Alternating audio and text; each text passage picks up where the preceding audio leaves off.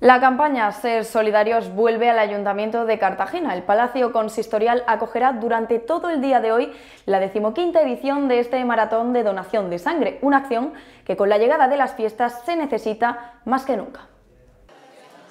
Con este pequeño gesto podríamos salvar vidas. La maratón Ser Solidarios vuelve al Ayuntamiento en su decimoquinta edición. Es necesario para, de forma altruista, poder ayudar a todas las personas que enferman y que necesitan la sangre a veces en situaciones muy extremas. Que llega un momento en el que haya personas que le hace falta. Con las navidades ya a la vuelta de la esquina, la transfusión de sangre es cada vez más necesaria al aumentar el índice de accidentes con los desplazamientos. Se hagan estas fechas tiene su sentido que es dar cobertura pues al primer fin de semana largo de, estas fiestas de Navidad. Una hija mía necesitó transfusiones de sangre hace unos años, eh, tuvo esas donaciones maravillosas y anónimas de mucha gente, gracias a ellos salvó la vida y yo estoy en deuda y por eso soy donante desde entonces.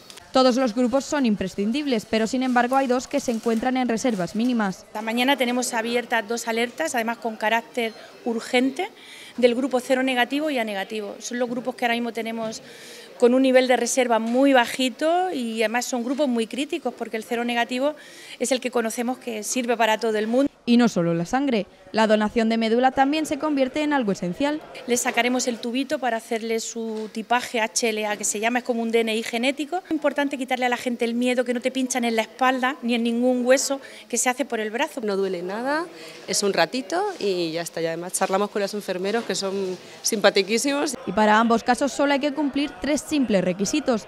Tener entre 18 y 65 años, pesar más de 50 kilos y estar bien de salud pudiendo hacer este pequeño gesto con el cual podemos ayudar a salvar la vida de muchas personas y hay que contribuir en todo lo que podamos.